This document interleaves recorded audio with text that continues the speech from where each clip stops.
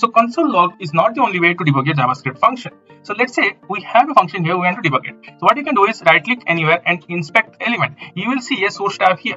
If you click on that, you will see your files would be in the left side. If you click on a file, you will see your code would be in this tab. So here, if you want to put a breakpoint, click any line number. You will see one breakpoint is applied. Now if I refresh it, your execution will be stopped here and you can utilize these options to operate further. So if you see this is resume, this is step over, this step into inner function, this step out from current function, this is next step. That means this line will be executed, it will go to next step. This is remove your all breakpoints. So if you click on this one, you will see our execution goes to the next step. Now the RES value is calculated, right? That you can see here as well. So now you can also achieve the same thing by using another way. So you can put a debugger here and then re-execute. If you'll see, the execution will come and stop here. So if you'll see the RES is executed, but this is stopped here, then you can utilize the same options to toggle. This is how you can utilize browser's developers tool to debug your code.